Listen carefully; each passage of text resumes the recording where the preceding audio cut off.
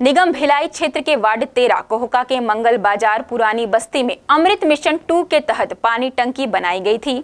आज इस पानी की टंकी के आउटलेट पाइप से रोज़ाना लाखों लीटर पानी पाइप लीकेज होने की वजह से बर्बाद हो रहा है, जिसकी जानकारी होने के बावजूद भी निगम प्रशासन मौन है। नगर पालिक निगम भिलाई क्षेत्र के वार्ड तेरह, कोहका की यह तस्वीर आपको सोचने पर मजबूर कर देगी।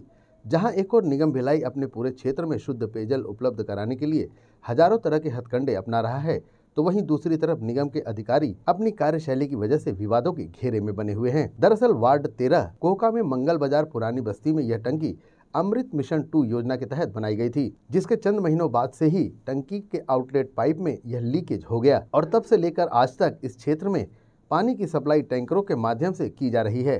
परंतु निगम के अधिकारी हों या क्षेत्र के जनप्रतिनिधि यह सभी इसे देखकर अपनी आँखें मूंदे बैठे हुए हैं। ऐसा लगता है इन्हें पानी की बर्बादी से कोई फ़र्क नहीं पड़ता।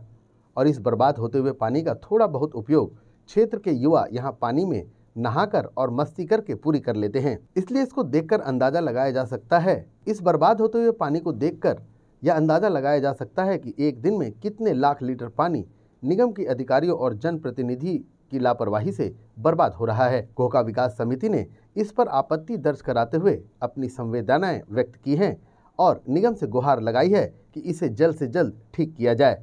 और ये जो दिख रहा है पानी टंकी आपको ये पाँच छः महीने से बहुत लीकेज है। यहाँ घरों में पानी आना मुश्किल हो गया है लेकिन यहाँ सर, सरकार उसको देख के भी जा रही है लेकिन कुछ कर नहीं रही है। यहाँ जो काम करता है उसको भी बोला हूँ मैं तीन चार बार बोला हूँ। हाँ बताया हूँ ऊपर मैं बताया बोले लेकिन कुछ मतलब सोल्यूशन नहीं हुआ इसका।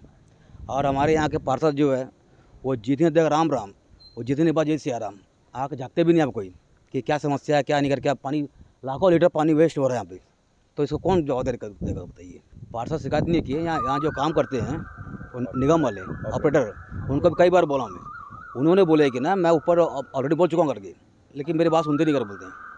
तो इसमें आप ही लोग बताइए क्या करें हम लोग। हम सिर्फ़ ये मांग करते हैं कि ना, इसको जल्दी से जल्दी इसको शट डाउन लेके अपना कार्य पूरा ठीक करे इसको, जो लीक है तो पूरा करे, ताकि लाखों लाखों लीटर पानी जो बर्बाद हो रहा है, वो बर्बाद ना हो विगत कई समय महीनों से यहाँ जो पानी का जो बर्बादी हो रहा है, उसके बारे में जो, यहाँ के रहवासी जो बता चुके हैं, उसके आगे मैं और ज़्यादा कुछ ना कहते हुए मैं एक ही शब्द कहूँगा कि रहीमन पानी राखिए, बिन पानी सब सुन, पानी गए न उबरे, मोती मानुस चुन। जब तक हमारे पास प्राकृतिक संपदा का अपार भंडारण रहता है, तब तक हम उसको, उसकी वैल्यू नहीं समझते।